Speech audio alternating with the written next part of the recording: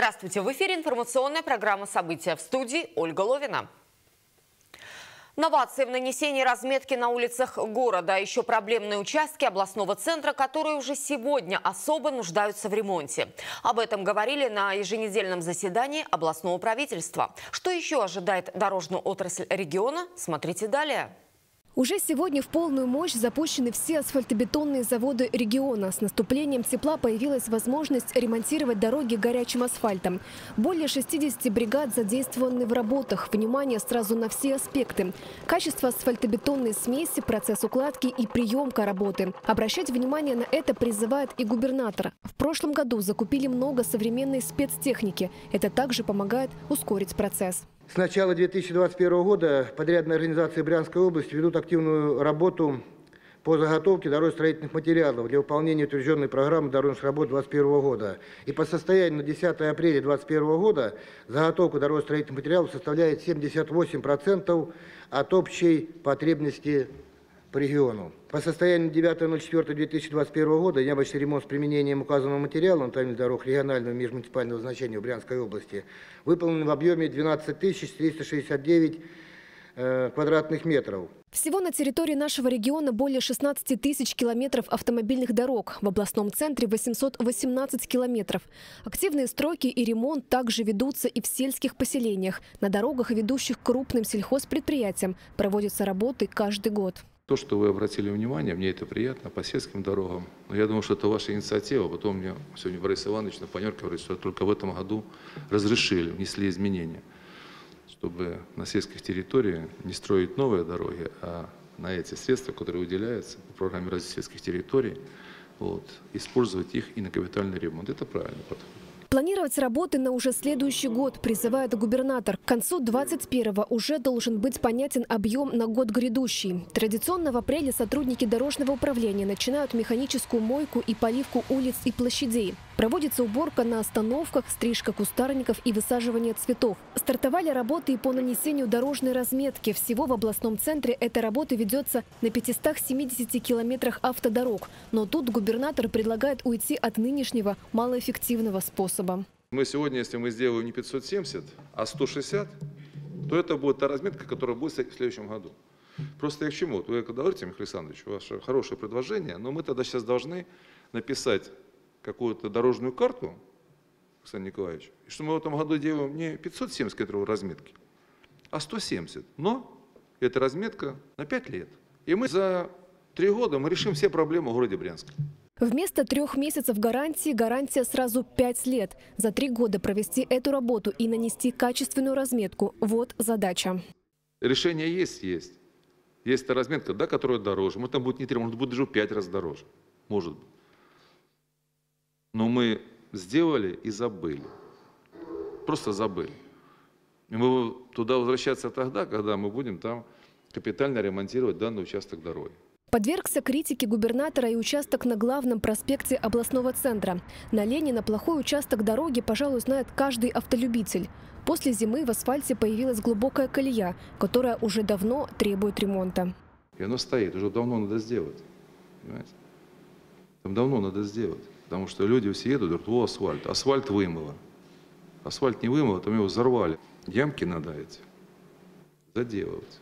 Потому что еще ямок много. Тоже круговое движение, там горка. Там в Бежец уезжаешь, она же не гарантийная дорога. Нет. Она будет делаться. Продолжается в регионе и реализация национального проекта «Безопасные качественные дороги». Уже в этом году будет сдана первая очередь грандиозной стройки дороги защитной дамбы Брянск-1, Брянск-2. По этой же федеральной программе планируется реализовать 49 объектов. А всего в регионе по разным программам планируется отремонтировать более 440 километров автодорог. На эти цели выделено более 7 миллиардов рублей, региональные – более 5.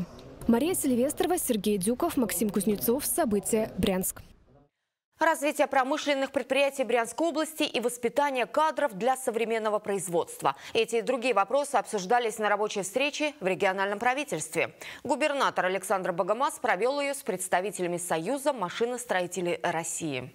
На встречу с главой региона Александром Богомазом представители Союза машиностроителей приехали в преддверии Всероссийского съезда этой организации. Она работает уже 14 лет, представительства открыты в 71 регионе страны. Брянщина была в числе первых, где появилось отделение. Гостей интересовало, чем живут наши машиностроители, как развивается это направление промышленности. Тот рост, который был за последние там, 6 лет, это 57% промышленность рост и 40% сельское хозяйство. По прошлому году промышленность 0,2% выросла, а сельское хозяйство 2,5%. То есть все равно тенденция, она сегодня заложена хорошая. Я думаю, что то хорошее, что мы делаем, мы будем развивать дальше. Во время рабочей встречи речь шла о том, как регион пережил пандемию, какие тенденции наметились в этом году. Губернатор привел самые свежие статистические данные. По первому кварталу этого года, учитывая, что в прошлом году мы не упали, первый квартал, даже с пандемией, там 460 миллионов получили плюсом к 19 у нас плюсом к первому кварталу прошлого года миллиард рублей. То есть хорошая дает надежда и оптимизм на том, что экономика Брянской области все-таки она как бы оправилась. Ну и сегодня вот уже мы имеем этот показатель. Чтобы промышленность развивалась, нужны квалифицированные кадры. Вопрос актуален во многих регионах. Союз машиностроителей тесно сотрудничает в этом направлении с Брянским техническим университетом. Популяризация инженерных и рабочих профессий – это одно из основных направлений политика сейчас Союза – это в основном направлено на развитие воспитания молодежи, воспитание кадров, подрастающего поколения. Много очень проектов именно связано с молодежью. Те же инженеры будущего, неделя без турникетов. Это, ну, у вас в регионе тоже это проходит, то есть, чтобы людям показывали, какие есть предприятия на местах, чтобы молодые люди – школьники, студенты пришли, посмотрели. В нашем регионе промышленность активно развивается, так что сотрудники нужны как в областном центре, так и в районах. Если мы сегодня возьмем любую районную газету, то там Требуется, требуется, требуется. Глава региона и представители Союза машиностроителей России наметили план дальнейшего сотрудничества. Оно будет продолжено при разработке региональных проектов, реализации федеральных программ, направленных на освоение новых технологий, разработки инновационных продуктов. Наталья Будник, Сергей Дюков, Анатолий Чекрыгин. События Брянск. УМВД России по Брянской области предупреждает об ответственности за участие в несанкционированных акциях. В ряде интернет-ресурсов, социальных сетях и мессенджерах распространяются сообщения о запланированных, несогласованных публичных мероприятиях в субъектах Российской Федерации. Напоминаем, что в Брянской области продолжают действовать ограничительные меры, направленные на противодействие распространению новой коронавирусной инфекции COVID-19. Кроме того, в соответствии со статьей 8 Федерального закона о собраниях, митингах, демонстрациях, шествиях и пикетированиях запрещено проведение публичных мероприятий на территориях, непосредственно прилегающих к зданиям органов государственной власти и экстренных оперативных служб.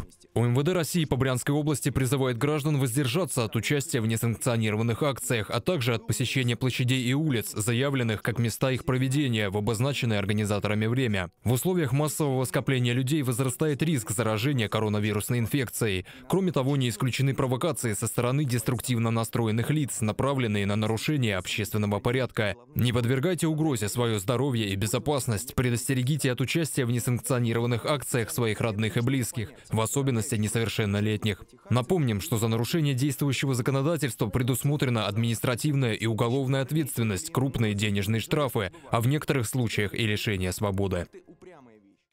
Россия отметила Национальный день донора. В Брянске традиционно 20 апреля в центре города работают мобильные станции переливания крови.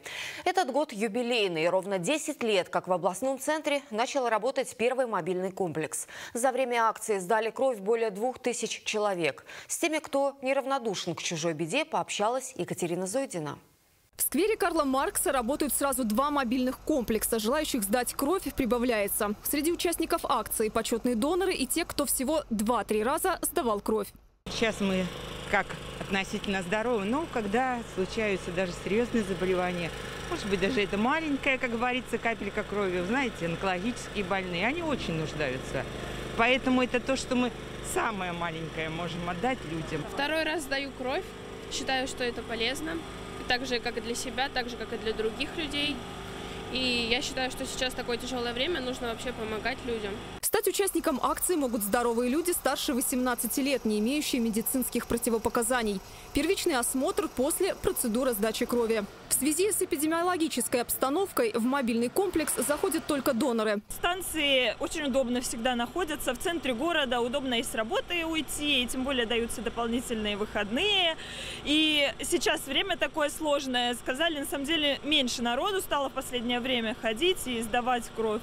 Поэтому я считаю своим гражданским долгом сдавать кровь. Этот год юбилейный. Ровно 10 лет, как в центре города начал работать первый мобильный комплекс. За это время сдали кровь более двух тысяч человек. Следовательно, более 6-7 тысяч пациентов получили помощь благодаря этой акции. Помочь люди могут и в борьбе с COVID-19, сдав плазму крови. Брянская областная станция переливания подписала соглашение о поставке плазмы с антителами на завод, входящий в структуру госкорпорации Ростех для производства и создания препарата иммуноглобулин ковидный. И, соответственно, все доноры, кто сдает сегодняшний день кровь в том или ином виде, неважно, это плазма или цельная кровь, проходит обследование на антитела ковид. Для чего это нужно? Это нужно для того, чтобы мы могли из общего потока доноров выделить интересующих нас доноров с необходимым титром. Доноры тестируются на антитела, и если кровь подходит по требованиям, с человеком связываются и предлагают сдать плазму. Это можно сделать и по желанию, если есть антитела. Среди таких доноров депутат Государственной Думы Николай Валуев. Он несколько раз сдавал плазму крови для заболевших COVID-19. Впервые антителами, выработанными после болезни, Валуев поделился в декабре. Друзья, ну, традиционно сдаем кровь на плазму. Уже не первый раз. А, есть побочный положительный эффект. Антитела растут, как ни странно. Но врач объяснил, что это нормальная реакция организма. Так что будем надеяться, что, во-первых, делаем, так сказать, полезное дело для того, чтобы, может быть, кому-то плазма поможет. Заодно, по ходу, еще повышая уровень собственных антител. Благодаря добровольцам область обеспечена резервными запасами крови. Екатерина Зодина, Игорь Винничук. События. Брянск. Жемчужина Брянской области Свенский монастырь пополнился новой иконой 19 века. В дар храму отреставрированную святыню преподнес эксперт тематической площадки ОНФ Николай Алексеенко. Он также познакомился с одной из главных достопримечательностей. На экскурсии также побывала и наша съемочная группа. Ставший уже любимым у туристов и, конечно, жителей всего региона, а еще популярное место для фотосессии и прогулок с семьей – Свенский монастырь. Архитектурная достопримечательность с многовековой историей. Старейшая святыня была основана в 1288 году. Его еще называют местом силы, куда ежегодно съезжаются тысячи паломников. Здесь хранится список иконы 18 века, частички мощей Андрея Первозванного, Георгия Победоносца, Оптинских старцев – то есть тоже был основным действующим храмом до момента окончания строительства Успенского собора. Главная святыня – Успенский собор Свенского монастыря. Его высота 62 метра. А гордость и достопримечательность – семиярусный иконостас, один из самых больших во всей России. По сей день тут продолжают бережно хранить историю и традиции. Мы ее сохранили, да, не стали ее ничего не штукатурить, не, Только не, это да, колонна, да? Не менять вот эту да, деталь элемент. Да, ее и оставь. Как тут, как тут участок, часть фундамента. И, да, и фундамент, да. да, значит да, храм стоит. Да, да. А еще убранство внутри собора. Великие праздники здесь собираются верующие со всей области и даже соседних городов. Хранятся в соборе и мощи Киева-Печорских старцев. Очень много исторического нового узнал. О том и Петр Первый, и Иван Грозный, то есть э, такие знаковые для нашей вообще государственности имена, которые внимание большое уделяли этому святому месту. Обратите внимание, э, что храм восстановленный, вот основной храм, он э, построен на том самом фундаменте, на котором стоял храм, который был в свое время снесен. То есть, по большому счету, храм веры стоит на том самом правильном фундаменте, историческом фундаменте. Поэтому, я думаю, он по-прежнему будет охранять брянцев, всю Брянщину и сейчас, и на многие века. В дар храма уникальная икона XIX века Благовещение Святой Богородицы, изготовленная из дерева и латуни. На молитвенную память о вас, о ваших трудах, да, икона дивная, древняя. Для иконы определили и место. Располагаться она будет в Игуменском доме, а немного позже православные смогут увидеть новую святыню храма. Мария Сильвестрова, Сергей Дюков. События. Брянский район. Мы продолжаем следить за бездействием в доме 64 на улице Горького. Квартиры продолжает затапливать, а о ремонте крыши только слова. Строительная организация судится с фондом капремонта, управляющая компания имеет удобную отговорку ничего не делать, мол, на гарантии крыша, а тем временем прошли очередные дожди. Жители дома 64 по Горького снова с тазиками. Напомним, летом 2020-го кровля здания не выдержала ливня, вода пришла в квартиры. Люди взяли тазики, стали считать, сколько денег придется вложить в ремонт после водных процедур и позвонили в свою управляющую компанию «Профгарант». Вроде как текущий ремонт крыши их непосредственное дело, а нет. Людям пояснили, крышу ремонтировать не имеем права. Как бы сильно не хотелось даже убрать снег с крыши по просьбе жильцов, управляющая компания отказывается. В профгаранте ссылаются на то, что в 2016 году кровлю делали подрядчики регионального фонда капитального ремонта многоквартирных домов Брянской области. И теперь, получается, они должны отвечать за свою работу. Крыша находится на гарантии. Подрядчиком выбирал МИРА. Работу принимал МИРА. Мы все вопросы, которые мы сделали, независимую экспертизу, мы сделали это, обратились в суд. Он капитального ремонта в курсе. Выходил подрядчик в декабре месяце, сказал, как только наступит э, условия, будем устранять эти За окном весна, но неожиданно выпавший снег дал понять жильцам 64-го дома, крышу им пока чинить никто не собирается. В нашем предыдущем сюжете временно исполняющий обязанности руководителя регионального фонда капремонта пояснил, крыша на гарантии подрядчика СМУ-19. Генподрядчик значит, отказался устранять свои значит, э, недостатки в рамках гарантийных обязательств. Э, фондом значит, э, поданный иск в Водопертный суд о побуждении генподрядчика устранить вот эти строительные недостатки. Значит, данное дело сейчас рассматривается в суде. Но мы понимаем, что собственники в данном случае не виноваты, фонд является заказчиком. Значит, э, мы сейчас принимаем меры. Идут суды. И это стало главной отговоркой, чтобы ничего не делать. Тем временем к нам в редакцию прислали видео очередного потопа. Такая ежедневная процедура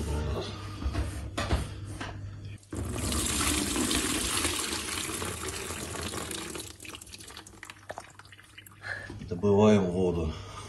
Наша обслуживающая компания «Профгарант» к которой мы обращаемся, которая каждый месяц приходит к нам исправно, э, снимает у нас акты залития, нам подписывает, говорит, что они делать ничего не имеют права, потому что ведутся суды.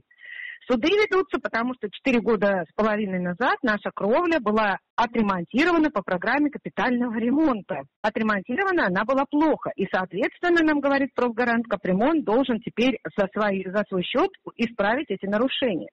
Мы обращаемся в капремонт. Капремон нам говорит, что мы не можем ничего сделать, потому что мы судимся. То есть они все судятся, мы исправно платим за текущее обслуживание, мы исправно платим отчисления фонд капремонта. За наши деньги было 4,5 года сделана кровля, она сейчас течет, у нас квартиры испорчены. В очередной раз позвонили жители 64-го дома по Горького и в жилинспекцию. Ответ удивил. Когда у людей все затоплено, сдувшийся ламинат, течет на четвертые этажи. На что нам сказали в жилищной инспекции? Ну вы подставьте, пожалуйста, какие-нибудь емкости. А мы позвоним в профгарант и скажем, чтобы на техническом этаже у вас постелили кусок полиэтилена. Это говорит жилищная инспекция. В общем, пока все судятся и удивляют решениями 21 века, жильцы не видят другого варианта, как подать заявление в прокуратуру. Андрей Мамошин, События, Брянск.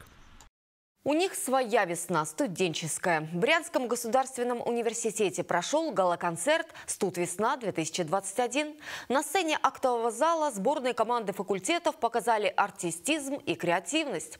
С каким настроем ребята выступали после перерыва из-за пандемии и как проходил конкурс в этом году, расскажем в следующем сюжете.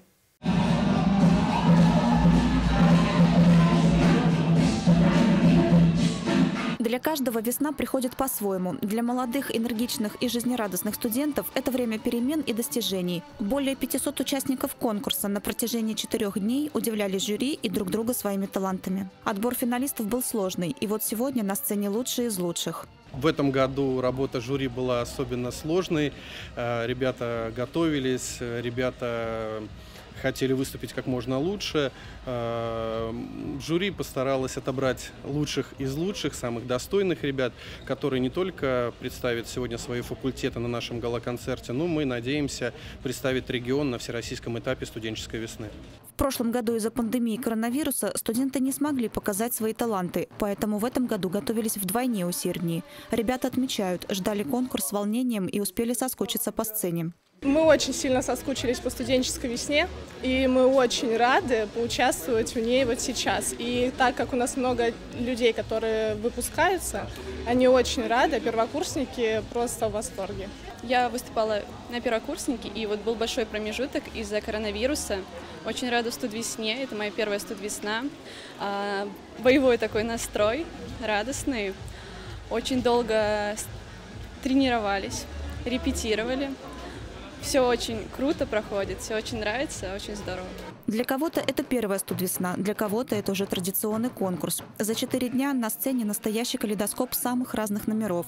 Вокал, танцы, стем, театр мод и многое другое. На улице весна, и, соответственно, студентам в душе тоже весна. И эта весна выливается в такой красочный многожанровый смотр-конкурс «Студенческая весна». В этом году победителем в общем зачете стал факультет истории и международных отношений. Именно они, будущие историки, представят наш регион на Всероссийской студвесне, которая пройдет в Нижнем Новгороде. Екатерина Пенько, Сергей Дюков. События Брянск.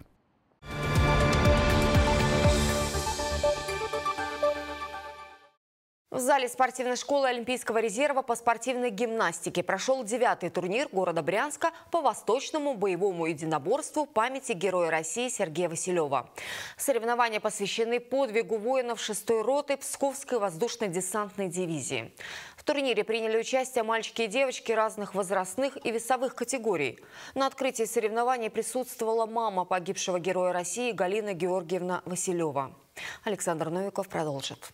Турнир памяти Героя России Сергея Василева собрал более 100 спортсменов. Это воспитанники клубов, секций, детско-юношеских школ. Соревнования по восточному боевому единоборству проходили в дисциплинах шатакан и кабудо. Вы сегодня совершили маленький подвиг. Вы сегодня боролись с собой, показывали наилучшие свои достижения. Ну и, конечно же, среди вас стоят и призеры, и победители. Я думаю, что здесь не должно быть проигравших. Почему? Потому что вы еще такого возраста, что у вас все вершины еще только впереди. Особые слова благодарности хотелось бы сегодня сказать Галине Георгиевне. Спасибо вам за вашего сына. Я думаю, у нас есть на кого равняться. Спасибо за все, что вы делаете для нас что вы всегда рядом с нами. Гибель героически принявшей бой шестой роты псковских десантников всколыхнула всю страну, не оставив равнодушными даже далеких от армии и войны людей. Подвиг крылатой пехоты стал символом воинской доблести и новой российской армии. Все сложится хорошо, только было бы мирное небо у нас над головой, чтобы жили мы в мире, чтобы нам никто и никогда не, не указывал, как нам жить, что нам делать.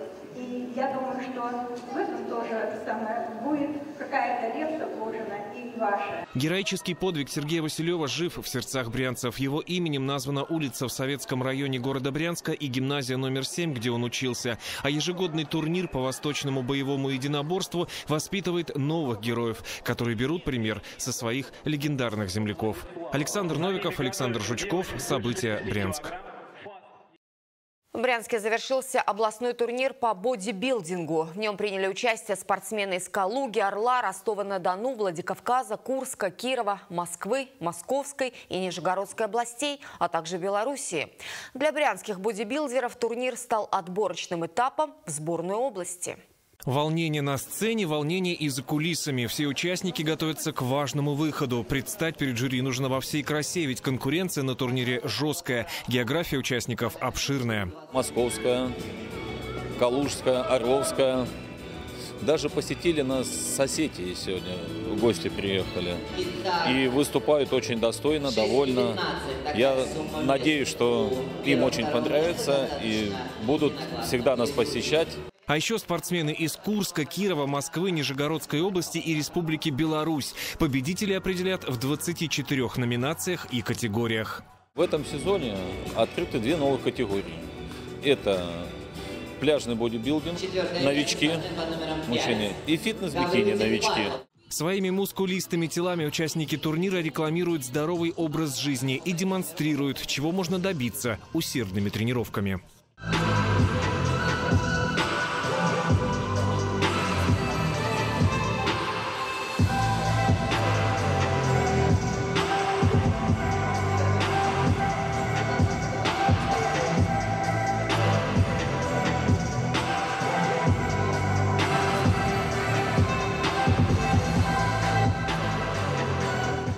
Спортсмены показали свое мастерство в классическом, пляжном и атлетическом бодибилдинге, фитнесе, бодифитнесе, фитнес-бикини и велнес-фитнесе. Я занимаюсь уже практически 8 лет. А, выступаю 6. Самая грандиозная победа была у меня в том году, второе место на чемпионате России. А в этом году я уже выступала в Красноярске. Спасибо, шоу. Тоже стала вице-чемпионкой. Сборная команда Брянщины выступит 26 апреля на чемпионате России в Краснодаре. Абсолютным победителем Кубка Брянской области среди мужчин стал Владислав Ломачевский, представлявший город Смоленск. Среди женщин признана лучшей Анна Горбатенко из Брянска. Александр Новиков, Александр Жучков. События Брянск.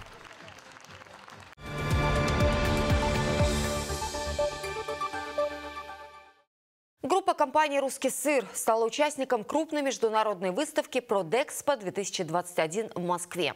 Для гостей и будущих партнеров на стенде были представлены сыры, сгущенное молоко и сливочное масло. Что отличает брянскую продукцию от других марок, узнала наш корреспондент Екатерина Зойдина.